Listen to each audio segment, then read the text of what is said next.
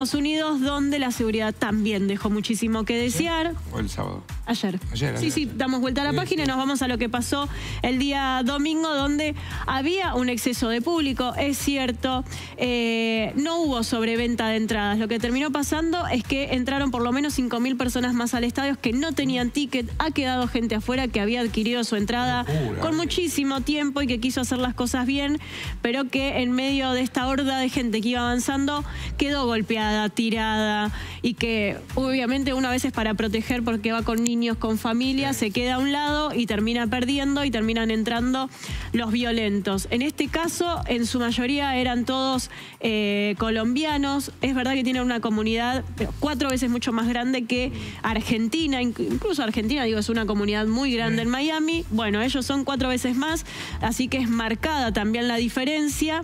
Hicieron de todo para poder entrar. Había imágenes donde se los veía por conductos de aire acondicionado, cortaron un alambrado lateral donde estaban también las enredaderas y querían pasar por esos lugares. Estos tres anillos que se implementaron de control, la verdad es que dejaron también mucho que decir. Mira, esos los conductos, que aparte es peligrosísimo.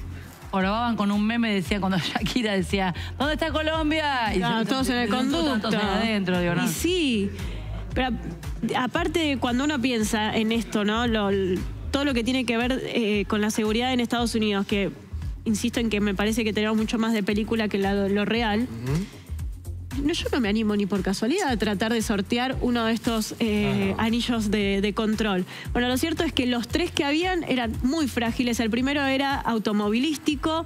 La gente que fue, argentinos que contaban que pasaban como si nada, que nadie les pedía ningún Porque en los alrededores de la cancha es como una pista, que Sí. ahí se jugó la Fórmula, se corrió la Fórmula 1 y si bien no les permitían hacer eh, los típicos asaditos o cositas Sí, por ahí, tipo el Fan Fest. esta- esta- estacionaban, hacían lo que querían, entonces rompieron, no, no Pero ahí los argentinos decían, eh, nos paraban en el control y decían, ¿todos tienen de entrada? Sí. Bueno, Ah, sí. con la palabra vale, listo, adentro. Y así fueron entrando, entrando, entrando. Obviamente, digo, gente sin entrada había de los dos lados, de los dos países. Eso es una realidad también. Y estos incidentes, lamentablemente, es que incluso llegaron hasta la familia de los jugadores que habían quedado atrapados en medio de los incidentes y fueron jugadores como McAllister que salieron de- del estadio a los pasillos donde estaban más en cercanía con la gente pidiendo por favor a la gente de seguridad que rescate a sus familiares. Terrible. Una cosa, Claro, digo, terrible. con esa cabeza después tenían que jugar y por eso se fue retrasando y retrasando el partido y que creo que fue una hora y veinte más No, no tarde que, que que fue se termina jugando. Eh, pero obviamente todo esto que se vivía allá, donde quedó prensa en medio también de estos disturbios, donde no pudieron entrar muchísimos periodistas que fueron a trabajar y estaban acreditados, gente que, periodistas que estaban en vivo haciendo la cobertura y también se la llevaba la policía, como que no, ya no había una discriminación de quién estaba trabajando, quién tenía el ticket y quién estaba eh, siendo violento en la situación. Está- entraron todos en el mismo, en la misma bolsa y se los llevaban a todos. Eh, Ahora la Comebol intenta buscar responsables. Yo te diría que lo hacen para las cámaras y en cinco días no habla más nadie de esto. Y le mandarán un beso a la FIFA para que organicen el evento del Mundial en dos años. Ya De que la Comebol haga algo bien, dales un premio. Por eso. Eh, pero bueno, hoy salieron a hablar y obviamente tenían que decir que estaban buscando a los responsables, que iban a tratar de deportar gente si las encontraban. Y la verdad es que está todo muy difícil ya este- en este horario. En paralelo acá en Argentina, la verdad es que se, vi- se vivía obviamente palpitando el partido. claro. Mucha gente que se convocó en el obelisco. Desde temprano. Desde temprano. ¿El partido? Sí. Pero no había ni pantalla. La convocatoria era, bueno, vamos todos a hacerle el aguante. Ahí está el Caguano a Claro, una cuadra. claro. Dos. Y, y ya estaban en la calle, Corrientes. Sí, Qué suerte, me voy re cómodo de acá. No sabés lo que tardé para volver a casa. Encima me quedé mirando la premiación, todo. Sí. Ya lo que era el obelisco, 3 de la mañana. Eso. Claro, pero antes del partido, ya en la previa, había mucha gente que, insisto, no había pantalla, no había nada, era solo el hecho de juntarse, Y los bares miraban ahí esperar afuera, entre todos y escuchando un poco los relatos que se hacían y transmisiones por celular, porque otra cosa no había para hacer.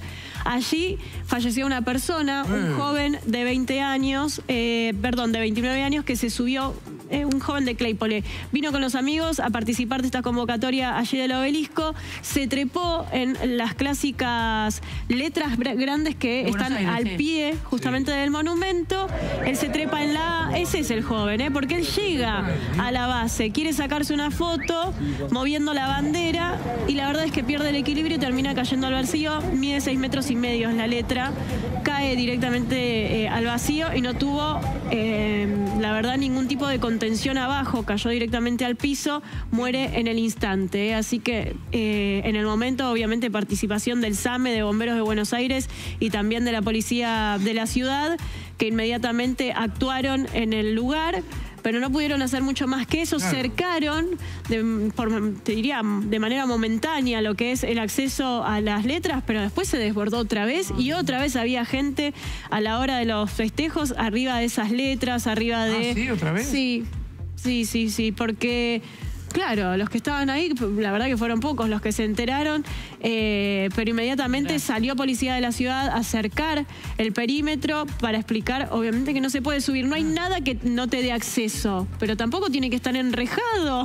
No, o sea, no, la cordura te tiene que decir que no tenés que subir. Claro, no hay bueno. escalera para subir para más que para ahí cortarla. arriba. Es para un jardín vertical, entonces Claro. tiene hierros adentro y te vas trepando, pero no tenés que subirte de arriba. Bueno, Dios mío. recuerden que en el, eh, todo lo que fue el festejo de Qatar, acá en Argentina, eran los, los techos del Metrobús, Sí. eran las letras, era el propio obelisco, la gente que salía por las ventanitas. Bueno, y esto es ya entrada la madrugada, 3, 4 de la mañana, cuando los festejos pasaron ya a disturbios, enfrentamientos con la policía. Eh, seis detenidos en este contexto, al- son cinco varones y una mujer. 17 heridos que fueron trasladados por el SAME a distintos nosocomios aquí de la ciudad de Buenos Aires, otros tantos que fueron atendidos en el lugar.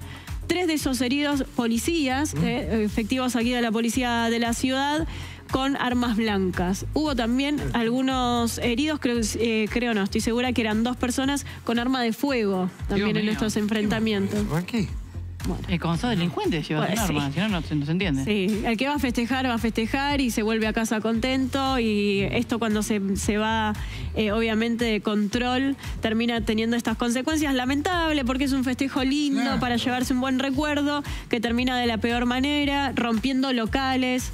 eh, allí de, de Avenida Corrientes, un bar notable. Sí, se llevaron hasta la placa de, del bar notable, que es una distinción que te da el gobierno de la ciudad, pero como es de bronce se lo llevaron, se llevaron la vajilla original de 1940, ¿De Giralda, sí, eh, que lo tenían exhibido en, la- en las ventanas como para que vos puedas apreciarlo. Y se lo llevaron. Digo, ni siquiera tendría un valor, debe estar hasta roto en la propia avenida, habrá quedado todo lo que era tacitas y platitos originales. Eh, una pena porque Es tan emblemático lo que costó reabrirlo encima. Tres años estuvieron trabajando para Sí. poder reabrirlo. A ver, ninguno del más el local más chiquitito al más emblemático, nadie tiene que sufrir este tipo de violencia porque es el trabajo de un montón de gente que se pone en juego en el día después. Pero es eh, casi inevitable acá cada vez que hay. Si no es una manifestación en contra de, es en un festejo a favor de lado. y termina siempre de la misma manera. No, no, tremendo, chicos. Inentendible. Qué feo eso, qué feo, muy feo. La verdad, un beso.